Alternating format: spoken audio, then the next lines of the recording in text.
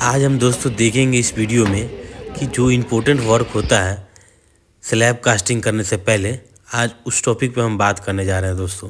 दोस्तों जी हाँ जैसा कि आप लोग जानते हैं इलेक्ट्रिक वर्क के बारे में हम बात करेंगे आज कि दोस्तों जब हम स्लैब का स्टील बाँध लेते हैं, उसके बाद हमें कंडक्टिंग पाइप का जो वर्क होता है, वो पहले करना होता है दोस्तों स्लैब कास्ट करने से पहले। ऐसा अगर हम करते हैं तो हमारा जितना भी इलेक्ट्रिकल पॉइंट होता है दोस्तों जहाँ जहाँ पॉइंट आ रहा है, वो सारा पॉइंट प्रॉपर तरीके से हो जाता है।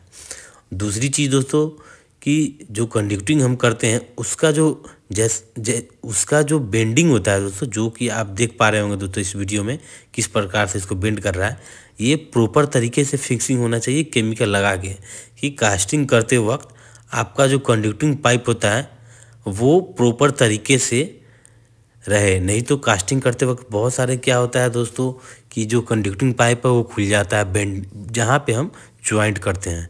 तो दोस्तों उसके लिए आप जो इस टेक्निक को देख रहे हैं बेंडिंग को वायर बेंडिंग दोस्तों इस प्रकार से इसको बांधना है दोनों साइड ताकि जो कंक्रीट का प्रेशर लोड जब आएगा दोस्तों तो ये खुल ना पाए।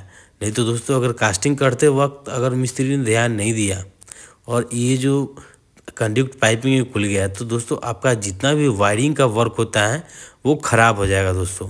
तो आप स्लैब का जो आपका सीलिंग में जैसे कि फ़ैन हुआ लाइट्स हुआ तो उसका वायरिंग प्रॉपर तरीके से नहीं हो पाएगा दोस्तों। तो इस चीज़ों को ध्यान रखें दोस्तों। अगर आप मिस्त्री है तो भी, या तो फिर नॉर्मल बंदे हैं तो भी। इस चीज़ों को दोस्तों ध्यान में रखते हुए ही कास्टिंग करवाएँ। और हाँ ये चीज़ और ध्यान रखें कि जब हमारा अगर डबल जाली में स्टील है, उसमें चेयर का यूज़ ज़रूर करें